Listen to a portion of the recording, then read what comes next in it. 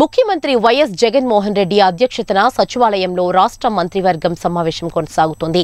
ఈ సమావేశంలో ముప్పై రెండు అంశాలపై చర్చించి నిర్ణయాలు తీసుకుంటారని అధికార వర్గాలు తెలిపాయి. భేటీలో ముఖ్య అంశంగా రాష్ట్రంలో కరోనా తీవ్రత పెరుగుతున్న నేపథ్యంలో వాటి నివారణ చర్యలపై చర్చించారు. ప్రభుత్వ ఉద్యోగుల కొత్త పీఆర్సీకి కేబినెట్ ఆమోదం తెలుపనున్నది. చివర్లో ముఖ్యమంత్రి సమ్మతిస్తే ఉద్యోగుల డిమాండ్ల మేరకు పాత పీఆర్సీ హెచ్ఆర్ఏ కొనసాగింపుపై చర్చించే అవకాశం ఉంది ఉద్యోగుల పదవి విరమణ వయసు అరవై రెండేళ్ళకు పెంపుకి ఆమోదం తెలపనుంది.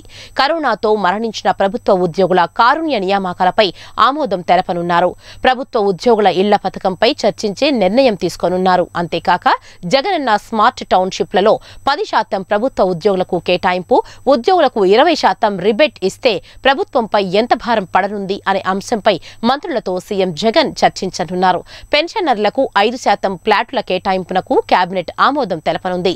ఈబీసీ నేస్తం పెన్షన్ను రెండు వేల రెండు వందల యాభై నుంచి రెండు వేల ఐదు వందలకు పెంచిన ఉత్తర్వులకు ఆమోదం కేబినెట్ ఆమోదం తెలపనుంది.